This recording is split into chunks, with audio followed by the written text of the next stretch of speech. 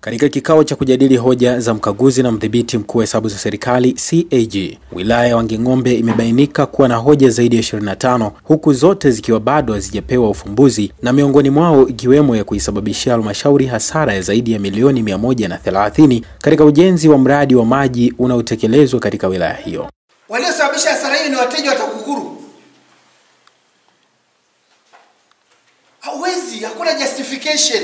Huyu mtu anatakiwa pengine kwenye kwenye akaunti yake kwenye bank statement awe walao na milioni hamsini. Huyu ana bilioni moja kwenye bank statement yake. Mnapofuka hamuoni, mnamchukua yule ambaye amebidi haya badala ya kuipa serikali ya ahueni.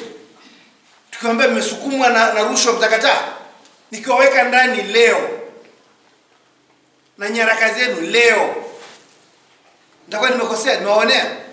Nje ya kikao, madiwani wa kata tofauti wanasema hawafahamu A wala B juu ya kinachoendelea juu ya mradi huo, huku wakieleza kuridhishwa na maamuzi yaliyotolewa na mkuu wa mkoa. Ndio maana tumeweka kishanga katika baraza kwa sababu haijawahi kuletwa kwetu, na hii nafikiri ni ile sasa mkanganyiko unaokuja pale ambapo ilitokea kwamba kwenye bodi ya wazabuni waheshimiwa madiwani, maana kama kwa maana ya viongozi wasihusishwe kabisa katika ku, kuwepo ndani ya bodi hiyo. hatukupenda. Tungekuwa pengine tulijulishwa mapema, ilifaa kabisa hii tuweze kuigoma kabisa na kuikataa. Hatupendi kabisa na hatujalizika kwa ajili ya hilo.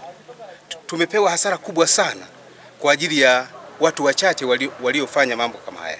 Nimezungumza na mwenyekiti wa halmashauri ya wilaya ya Wanging'ombe Anthony Mawata nikitaka kujua haswa ukweli wa kile ambacho madiwani wameeleza kuwa hawakushirikishwa kwa namna moja ama nyingine katika utoaji wa zabuni hiyo kwa mkandarasi ambaye anatekeleza mradi huo.